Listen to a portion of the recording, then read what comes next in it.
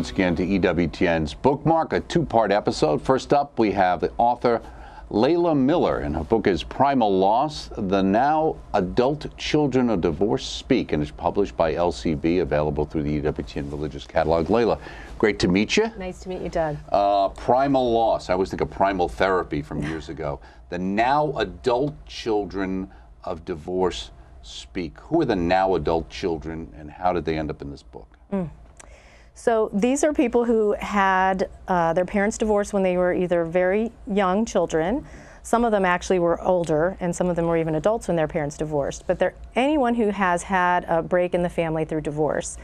And they ended up in the book because I had a friend that I used to talk to, my friend Alicia, and I'm not a child of divorce, but she you is. You kind of semi-dedicated the book to her. I did, too, right? I did, because she inspired it. And I told her she needed to write about her experience. How did she inspire it? Through normal friendship conversations over the years, we would just talk about um, just normal problems as moms. And every now and then she'd bring up something that I couldn't relate to and had to do with her broken family. Uh, and they divorced, I think, when she was nine. But she has a stepmother, she has uh, half or step siblings, things like that. And here she is in her 40s, and she's still dealing with the complications of that Were broken you surprised family. by that? I'm very surprised. I thought, well, this is interesting. I thought people just got over it. You know, when you get used to it, you, I thought get, the kids get, the parents get divorced and the kids right. get used to it. And so here she was decades later and wasn't over it. So did she consider herself a member of the unhappy club? Um, she she's very quiet about it. You know, you just didn't know. It was very she's very happy Catholic convert, um, and so that's why it was just so it was so subtle. Right. And so I tried to draw that out of her a little bit and say, Are you, you know, there seems to be a lot of this. Why don't you write about it? And she said, Oh, I might. And then she never did, but I ended up writing about it. Okay. Yeah. You, you also point out, and we'll go back to talk about the, the issue itself, but as far as specifically this book, uh, you point out at the, in the introduction what the book is and isn't. The book's not a scholarly work, no methodologies. So, Leila, this book itself, uh, you're not a child of divorce. You don't have a bunch of degrees after your name. So, what made you the right person to put this together, this particular book, and how did this come about? Well, I think um, the reason I put it together was because I just was curious myself, because I didn't realize, I think, that there were a bunch of people in this culture walking around with encumbrance and things on them that I never had, complications I never had. So I just was doing it out of curiosity. And I thought maybe I'd throw out an ebook or make it just something for people to reference if they needed it. But once I started getting these, these uh, questionnaires back, which were just volunteers who said, Yes, I'd like to talk about being a child of divorce, uh, I was so blown away by the pain mm-hmm. and the similarities, no matter how many years had passed, that I decided I, I think I'll just put it in a book Okay. But I knew that I didn't want my voice in it necessarily. I wanted just I wanted them to have a chance to speak. Well, you kind of leave your voice out for my eight chapters is, in the middle, right? Yes, I'm not even speaking in most right. of the book. Eight okay. eight of those chapters is just a question and the 70 or so answers uh, in each of those chapters. So.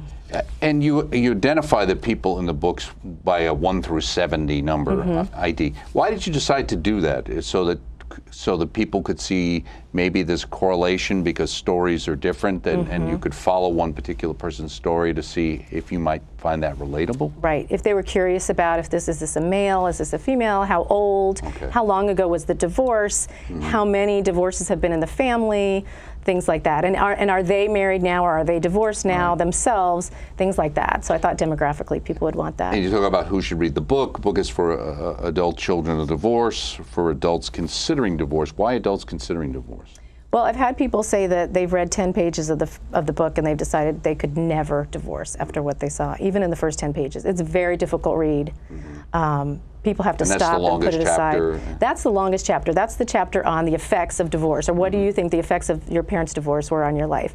And it's a painful read. Um, it's painful for parents who have been divorced. It's painful for the children who finally realize, gosh, this is my story, but I've never heard anyone else tell it before. Uh, so, yeah, it's. Um, it's very powerful for anyone who's considering divorce because I don't think we know in this culture what the ramifications right. are. We haven't been told. Right. And the kids don't speak because the kids they they kind of spout the narrative of the parents because they love their parents and when you're young, you just you go along with what you're told is a good thing.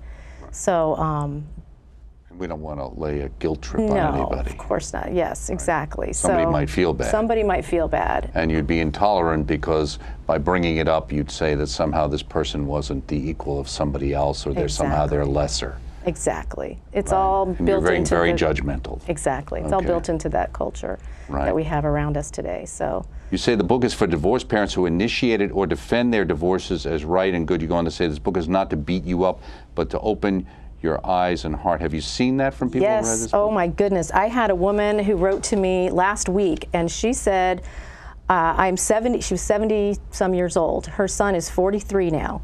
They got divorced when her son was 17. She said, "I never." Knew, but I saw his story in there. No, it's not literally his story, Right. but she saw something that echoed and mirrored their their situation. She said, "I decided, even though I'm the one who left, she left her husband. She said, I sat him down when he came to visit and I showed him the book and we talked about it. And she said, I could see his entire countenance, everything about him just relaxed when I apologized for what I did so many years ago. And she said, I didn't try to make any excuse whatsoever. I just said I was sorry for what happened to his family. And she said, I myself feel so much lighter. And I couldn't believe it. I mean, that's exactly what I had hoped for the book, and that is what I'm getting back: is some healing between the Mm-hmm. Right. parents and the children, as and, well and a as chance to open a dialogue. absolutely. and maybe realize that maybe these things do need to be talked about. They do This was also interesting. You talk about the books for children of attacked families so they can understand, Mm-hmm. and probably also when they're dealing maybe with a potential spouse who maybe didn't come from an intact family and how that might impact uh, what we see sometimes is a reluctance to commitment these days Yes. in relationships. You say this book is for Catholic priests, therapists, for any ministers and counselors who work with those in troubled managers, marriages. I beg you, and the children of divorce beg you, s- save for extreme cases where there's no other possible choice, do not counsel for divorce. You go on to say, I personally referred couples, and I guess to therapists and to priests who have planted seeds of divorce and annulment in couples' minds. Yes. That is unfortunately true. I have seen that. Mm-hmm. I have had friends even come to me and say, after I have referred them to certain counselors, Catholic counselors or Catholic priests, and they were not looking for divorce. They were not looking for anything other than help mm-hmm. in a difficult time. And they were told that it would be okay, you know, if you left your husband or if you left your wife. And I've had people come and actually cry to me and say, that's not what I wanted. And so then the people who do want that and who do want permission are getting it fairly fairly easily from many priests and counselors in the Catholic Church. And again, I, I attribute that to the fact that this culture is the air they breathe too. We're, we're just surrounded in Right. it. And um, it is acceptable today in ways that it wasn't before. And priests are human, and Right. counselors are human. But I'm trying to give a warning. Please Right, don't They're impacted do by this. society and They the are. culture around them as well. Well, the, the forward with uh, Mm. uh, Dr. Jennifer Roback Morse, who's been on EWTN many times, the divorce ideology is one of the linchpins of the sexual revolution. Kids are resilient. Uh, parents who don't get along do their kids no favor by staying married. That certainly was the approach that was promulgated in the late 60s throughout the 70s. Um, the idea that uh, divorce is harmless to children. And she goes on to make the point that unfortunately these claims are false, it brings chaos in the family. And experts used to say the kids will get over it. That's not what you're hearing from the kids, right? At all. Not at all. The oldest contributor is 66 in this book. Um, most of them are in their middle age. Uh, it is devastating, and, and this is what I never knew. This is why I'm so passionate about this subject. I did not realize that it doesn't end. For the children of divorce, it never, it never ends. They're, they're navigating these complicated situations and their pain and their um, insecurities throughout their entire lives. It doesn't end for them. It may end for the parents who go on and find another romance, or, uh, but it does not end for the kids. And that's something no one ever mentioned and no one ever ever told anyone. So Well, she goes on to say sustaining the divorce ideology requires that people don't ask too many questions or voice too many objections. Goes on to say to keep the fantasy alive, anyone who does not allow does not follow the socially approved divorce script must be silenced. Have you had any of that? Oh, yes, and I've been absolutely shocked by it.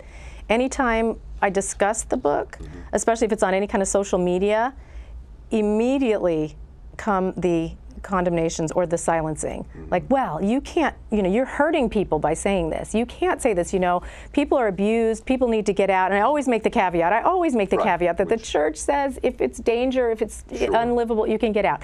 That is not most cases of divorce. So, yes, but it is uncanny. And, and I, again, since this is not my wound, I'm not a child of divorce, I can take those slings and arrows. But the children of divorce, and they talk to me privately, a lot of them, not just the ones in this book, but else, elsewhere, they will say, that's why we don't say anything. Because the minute we open our mouths, we are told to be quiet because we're, we're upsetting the adults, we're upsetting the parents who divorced, and we're not allowed to do that. Right. So, Uh, they may tell the child, we still love you, we just don't love each other. The child cannot make sense of this impossible contradiction. In my opinion, this is the underlying reason for the well documented psychological, physiological, and spiritual risks that children of divorce face. Now, you talk about, and she talks about, uh, some of the powerful testimonies in this book, even to the point of it not necessarily always being that pretty. Uh, do you still drink wine and cry when you read some of these things, as you talk about in the book? Yeah, it's one of those. That is, that's what I tell everyone. Just get a box of Kleenex and a glass of wine before you sit down with this book. There are uh, all there's a whole spectrum of types of divorces in this book. Uh, some were very neat and clean and, and lovely and friendly, and some were you know lots of abuse and uh, drug abuse, alcoholism, adultery, all sorts of things. Uh, the pain, though, is palpable with all the kids in every way, and it is it's a difficult read. There are suicides involved, siblings and parents, and um, that was a big theme too. Uh, a lot of acting out, behavioral issues, um, so much pain, and then the pain that still exists between the parents and the kids because there's not always been healing. Right, and that's the thing too. And you have a, a chapter, a contributors chapter. I've included another chapter, testimonies, chapter ten, that are um, you know from people who have stories of hope, etc. So it's not all. But again, it's one of those things where it is painful, and that's why, to some degree, you get pushback because no one necessarily initially goes into something to re-experience a pain they they might have had to deal with before. Yes, and they don't want to know truly, and I can understand as a parent, you don't want to know the pain you've caused your child. Right. So- Exactly. Okay, well, thank you so much, uh, Leila Miller, author of Primal Loss The Now Adult Children of Divorce Speak, available through our religious catalog. Thank you so much for joining us here. And stay with us here on Bookmark, another book straight ahead.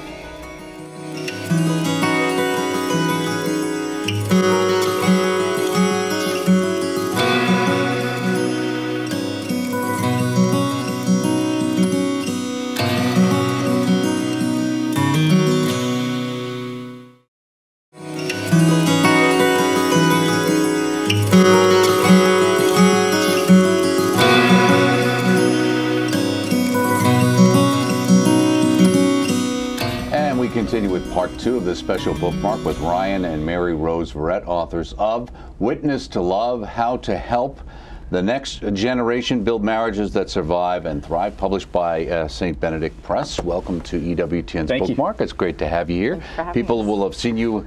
You've been on uh, Jim and Joy's show a couple of times talking about uh, marriage and obviously about Witness to Love, your, your new book. Well, let me ask you, Ryan, uh, why'd you decide to write a book on this topic? The reason why we decided to write a book was something. It wasn't something that was part of the initial plan. I guess when we were preparing for marriage ourselves and thinking about marriage. But uh, several years ago, we were trying to figure out why young couples who we were working with in marriage prep were not coming to mass after the wedding day. And then we sort of discovered um, sort of a new approach to marriage prep, pairing them up with uh, mentors that they, they would choose. And when we started seeing a um, sort of a, uh, a change in our divorce statistics in the parish and, and parish involvement, uh, there was a suggestion that Mary Rose had a presentation in Ohio, right? You could fill them in on that. Right. We, we had got the divorce rate down from 23% at five years after the wedding day uh, down to 0 in the in the parish, and then we got church attendance up from 10% for newlyweds up to 70, and then eventually 90%, which was was huge. And so uh, we were invited to give a presentation in Dayton, Ohio, uh, for the National Association of Family Life Ministers uh, a number of years ago, and. Uh, at that presentation, there were supposed to be five or ten people at the breakout, and there were 70 family life directors, and they just said, "We need this. Right. You, you you can't just have this in your head and give a little talk on it and use it at your parish. You have to share this." And so.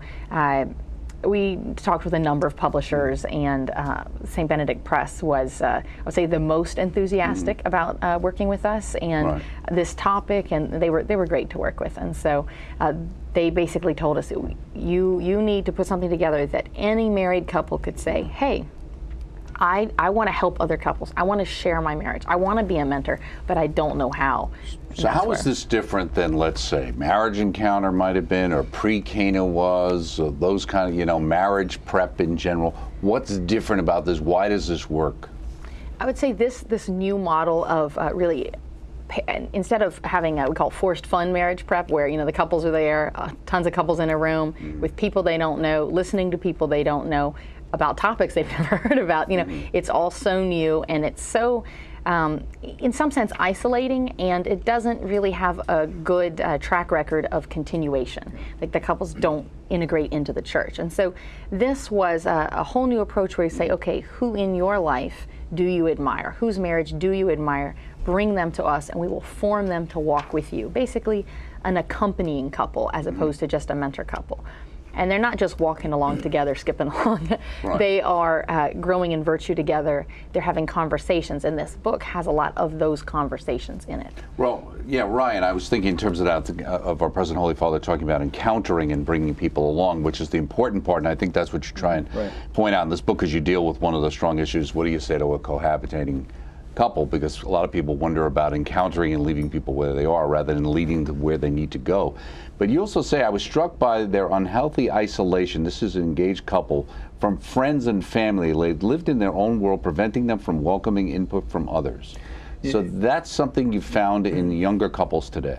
Yeah, the, the tendency for young couples, millennials, the Generation Y, and all these I generation, I, they they're they're so comfortable in this isolated, separated from a community life, in particular separated from a parish uh, that's in their in their neighborhood or that they should have grown up in or maybe they were baptized in, and, and that that sort of to piggyback on what Mary Rose was saying, they haven't had.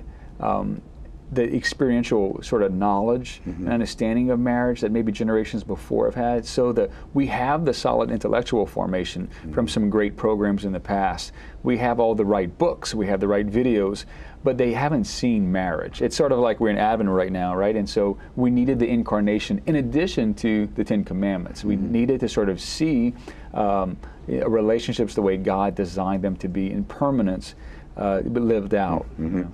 It- It's it's not see you know that experiential understanding of marriage. Couples today, if they didn't grow up in a home where their parents were married or their parents weren't happily mm-hmm. married, they don't know what marriage is supposed to look like.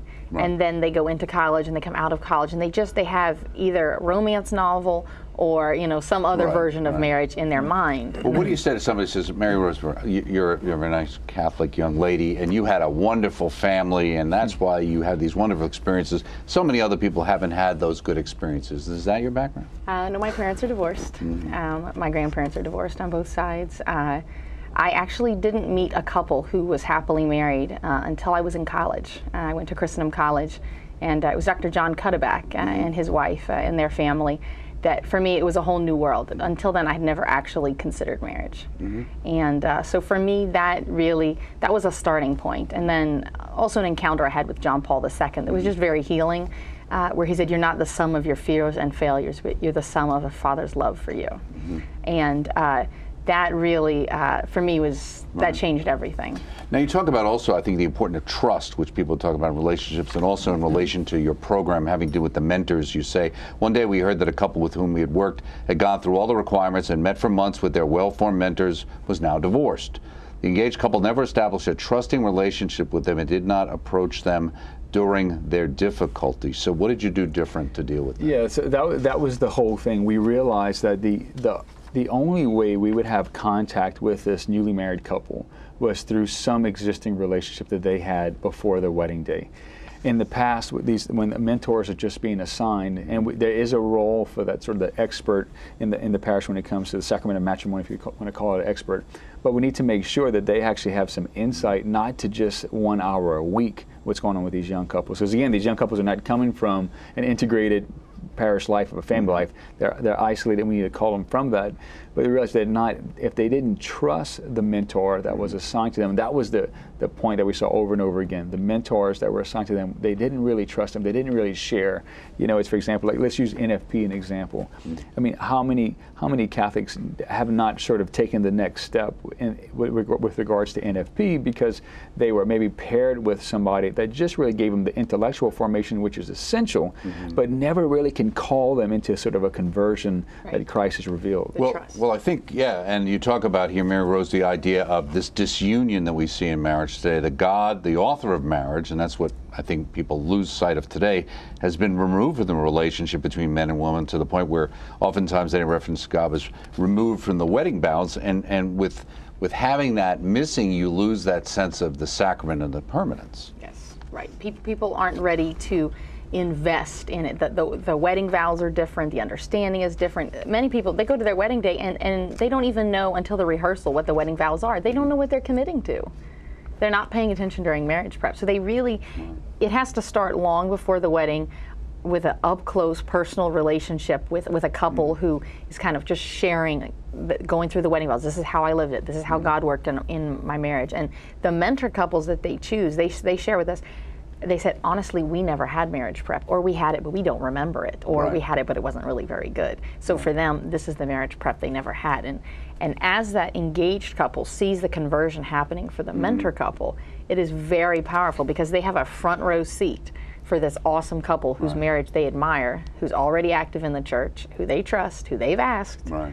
uh, who's investing in this engaged couple. They, they see and they can receive and that witness. And without that witness from somebody you um, you're attracted to, you have a relationship with, and you trust, that witness doesn't really permeate. And that really is what sets witness to love apart. Is that attraction, relationship, and trust dynamic Right. that's well, going may- on? Maybe in some of those old pre-caners, they spent their time playing Scrabble. uh, who's Possible. the terrible Scrabble player, and what does that have to do with marriage? Well, I like Scrabble a Well, lot. I'm a terrible Scrabble player, and We work um, on it. though. This uh, the story you're referring to is uh, I don't do well at Scrabble, and so I don't really want to play. Mm-hmm. But the same with marriage. Uh, when when we were getting married, we really believed the divorce rate was 50%. We did, Mm. but that divorce statistic is uh, quite a uh, a wet blanket, Mm. and it's not true. So if somebody gets married five times, they've also gotten divorced five times. Right. That messes with the divorce statistic. We get married for the first time, our indicators for divorce are very different. Mm-hmm.